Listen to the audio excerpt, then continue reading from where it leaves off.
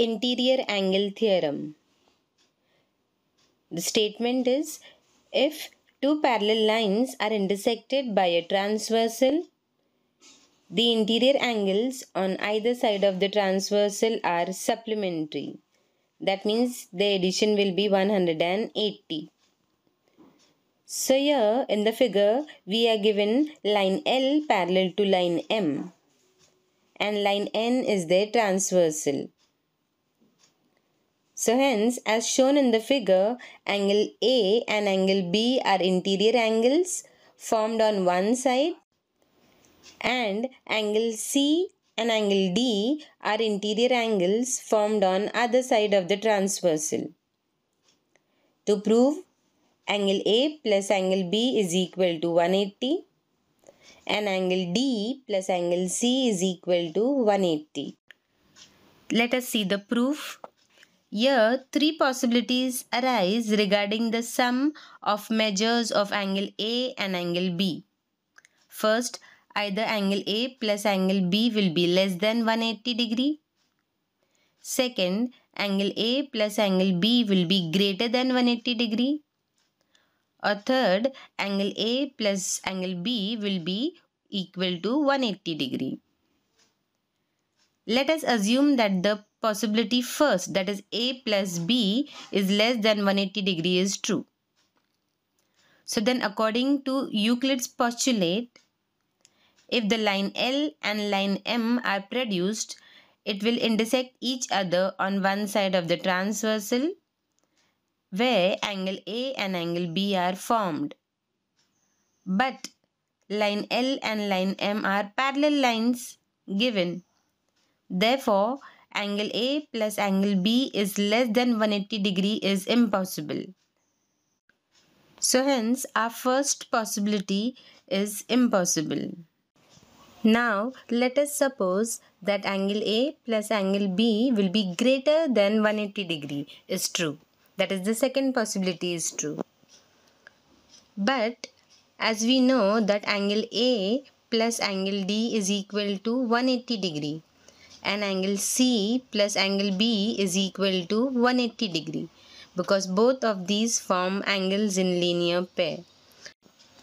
So when we add these, the left hand side gets added with the left hand side and the right with the right hand side.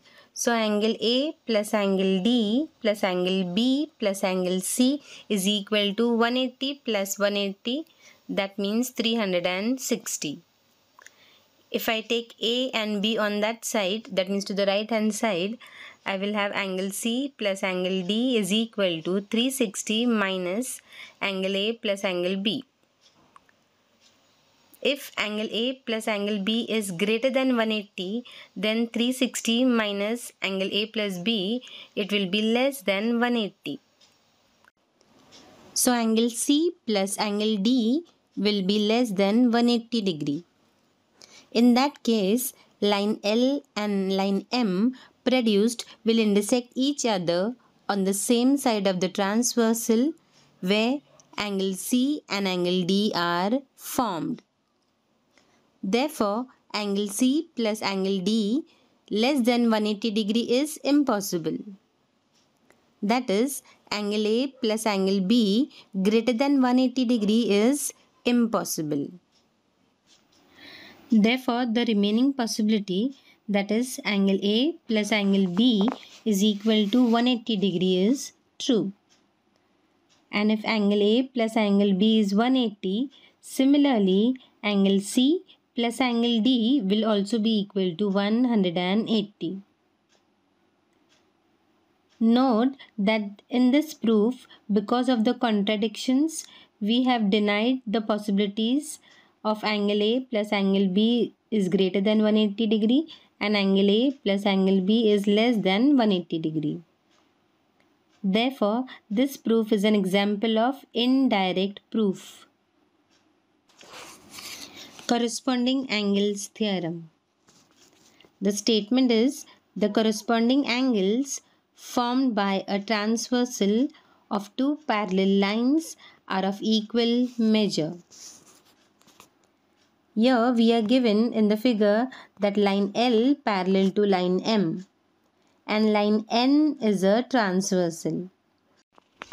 And we have to prove that angle A is equal to angle B. Proof Angle A plus angle C is equal to 180 degree. Number it as 1 that is angles in linear pair. Angle B plus angle C is equal to 180 degree. Number it as 2. The reason is property of interior angles of parallel lines.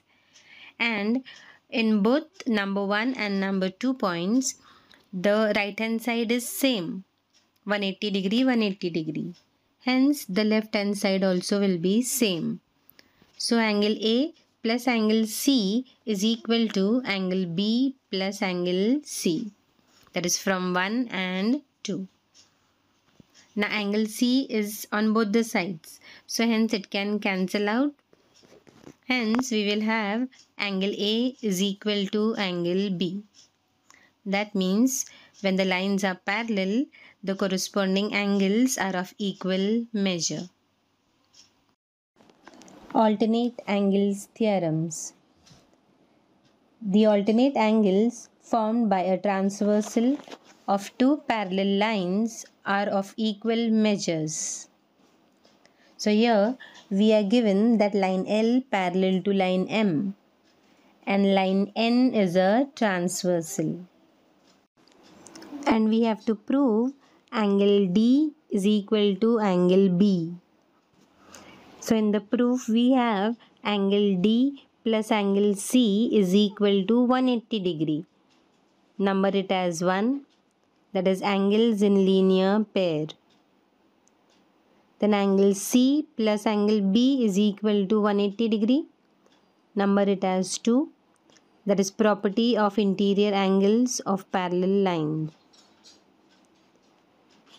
and when you see the number 1 and number 2 the right hand side is same 180 degree 180 degree. Hence the left hand side also will be same. So angle D plus angle C is equal to angle C plus angle B.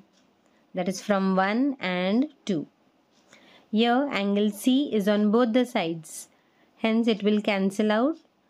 So we have angle D is equal to angle B that is, alternate angles are of equal measure. Let us solve sums based on these theorems.